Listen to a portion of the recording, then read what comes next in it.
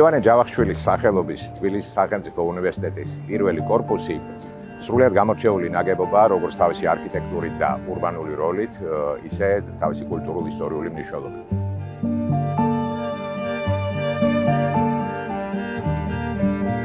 შენობა თავდაპირველად აიგო ქართული გიმნაზიისთვის, სასწავლებლისთვის, რომელსაც ასევე თავდაზნაურთა სკოლას ეძახდნენ. ის დაარსდა 1879 წელს და იმ თავითვე ითვლებოდა ქართული კულტურის მნიშვნელოვან კერად. განსაკუთრებით გაიზარდა გიმნაზიის მნიშვნელობა მე-19 საუკუნის ბოლოს პატრიოტიზმის აღმავლობის ეპოქაში და სწორედ ამ დროს გადაწყდა მისთვის ახალი შენობის აგება. ამ საქმის ინიციატორი იყო საზოგადო მოღვაწე ნიკოლოზ ცხვედაძე. შენობისთვის შეირჩა ადგილი იმდროინდელი ქალაქის გარეთ ვარაჟისხევის გადაღმა. იმაში მატლახები იყო ვარაჟისხევი, საკმაოდ ღრმა, ის ბევრად პროგვიან საბჭოთა პერიოდში ამოავსეს.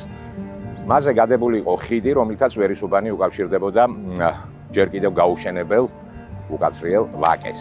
ხიდს აგზელებდა შარაგზა, რომელსაც წნეთის გზა ერქვა და ეს არის დღევანდელი ჭავჭავაძის პროსპექტის წინამორბედი.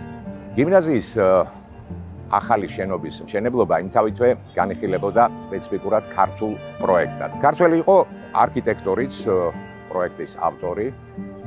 ეს იყო პირველი ქართველი პროფესიონალი არქიტექტორი, რომელმაც ესეთი აკადემიური განათლება მიიღო სიმონ კლდეაშვილი. პროექტი მან გაამზადა უკვე 1899 წელს, 1900 წელს დაიწყო მშენებლობა და 1906 წელს დასრულდა.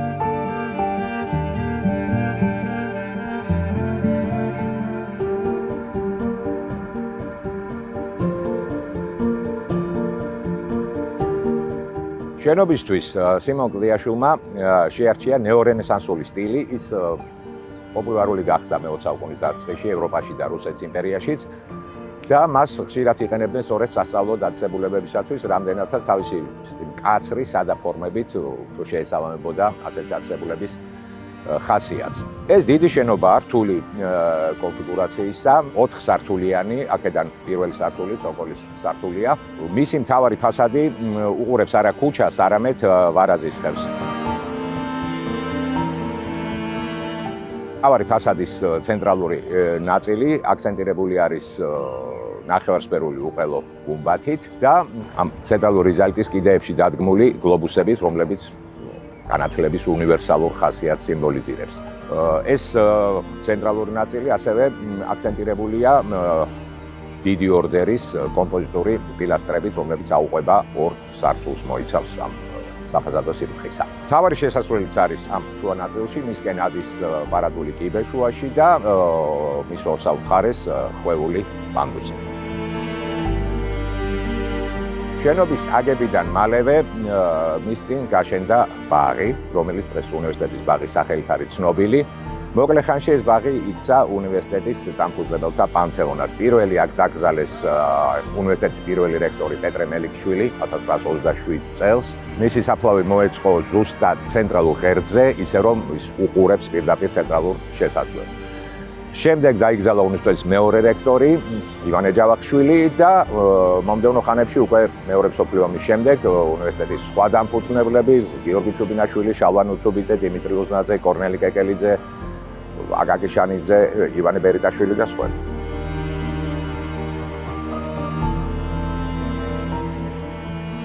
გიმნაზიის შენობაში დავიდანვე მოეწყო სამლოცველო.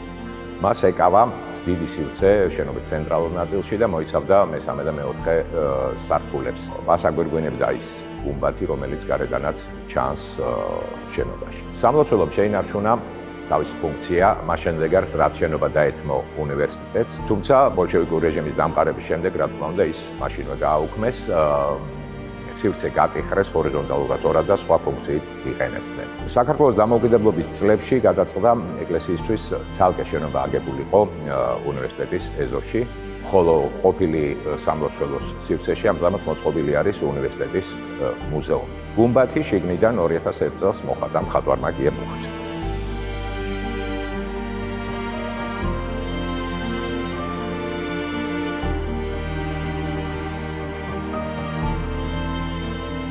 შენობა აიგო გიმნაზიისთვის, მაგრამ იმთავითვე ცხადი იყო, რომ ასეთი მასშტაბის ნაგებობა ქართულ გიმნაზიას არ სჭირდებოდა. ეს მაშინაც იგულისხმებოდა, რომ ადრე თუ გიან შენობაში ბინას დაიდებდა ქართული უნივერსიტეტი. ის ბევრად დიდია, მართლაც ეს ნაგებობა და მოიცავს ისეთ სათავსებსაც, რომელიც სწორედ უნივერსიტეტის როგორც სასწავლო-დაწესებლის ფუნქციას უფრო შეესაბამება. ქართული უნივერსიტეტის დაარსების იდეა მე-20 საუკუნის დასაწყისში აქტიურად ტრიალებდა ქართულ საზოგადოებაში, მაგრამ რუსეთის იმპერიის პირობებში ის განუხორციელებელი იყო. როგორც კი რუსეთის იმპერია დაემხო, ძალიან მოკლე ხანში დაფუძნდა ქართული უნივერსიტეტი და თავიდანვე მან ბინა დაიდო სწორედ ამ შენობაში. და დღემდე ეს არის ქართული უნივერსიტეტის შენობა.